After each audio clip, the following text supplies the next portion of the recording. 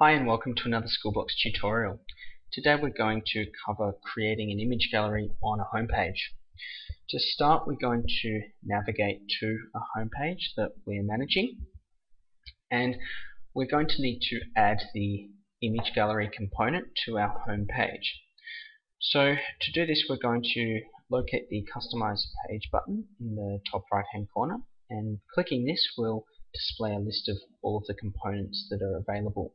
And we're going to choose the images uh, category and then select to add the image gallery. And that's going to appear for us straight away. Now I can close this. And we're going to need to add some images to appear in our image gallery.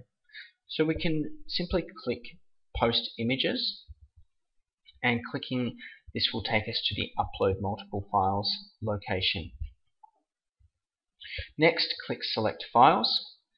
And I've got some images here, so I'm going to use those, and that's going to automatically uh, give those a title unless I want to change that, and then click Upload Files. So that's as easy as it is to uh, upload a few images and, and create an image gallery on your homepage. Of course, there are some more advanced techniques uh, so I might go through one of those now.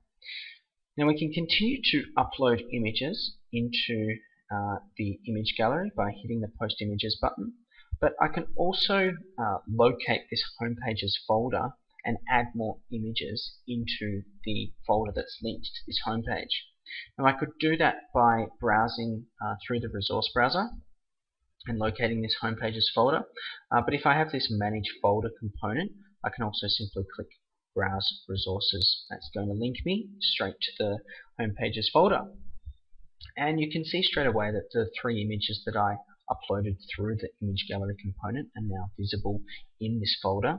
And so I could opt to add another file by clicking Post File uh, here. And in this case what I'm actually going to do is I'm going to upload uh, some files into this Year 9 Saturday Sport subfolder that I've created under this uh, homepage folder.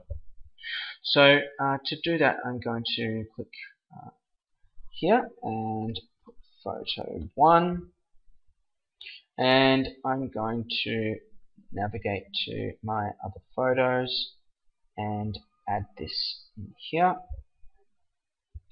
uh, and add one more file here, photo 2 and drag this one over here and click post file.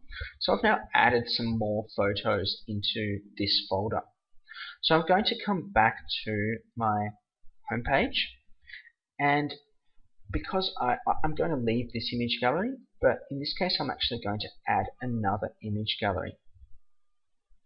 Now by default that image gallery is going to show me the images that are in located in the folder that's linked to this homepage but I'm also able to uh, choose to point this image gallery to draw its content from an alternate source.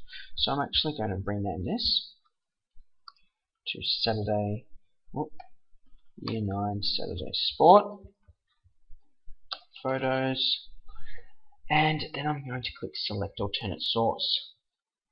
Now if I browse down I can now select the uh, folder, that's the subfolder of the volleyball where I uploaded some new images and then I can hit update. And so now this image gallery is actually pointing to the subfolder and the content and the images that are inside that subfolder. So that's uh, all we're going to cover today for image galleries. I hope that's been helpful. Uh, you can find more information on our wiki at schoolbox.wiki.com.au. Thanks again, and we'll see you next time.